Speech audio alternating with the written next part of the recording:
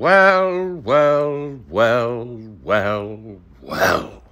If it isn't the brave young followers of Robin Hood, so recently routed in defeat and shame, are you surprised to now discover that your egalitarian champion has merely been a ruse?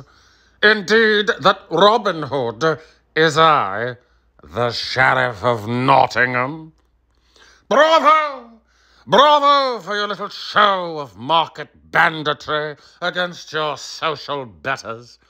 How long did you expect to be able to rob from the rich before the rich would return by royal rights to the status quo ante?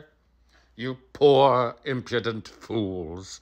Alas, and or alack, it is now high time your little game came to a stop. And now I tighten my grip to show you the true meaning of a short squeeze. the scroll of proclamations.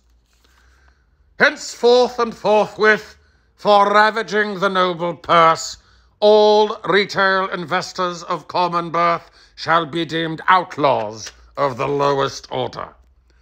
The following free enterprises shall be delisted, discredited, and defamed, and all further purchase prohibited. GameStop, American Multi Cinema, Blackberry, Bed Bath and Beyond, and Tootsie Roll. What's more, the Build-A-Bear shall be drawn and quartered as a warning to all who would defy my authority. So say I, the Sheriff of Nottingham, duly self-appointed registrar and majesty. What? What is this disturbance? the silver, you say? What do you mean they've discovered the silver? That's supposed to be impossible.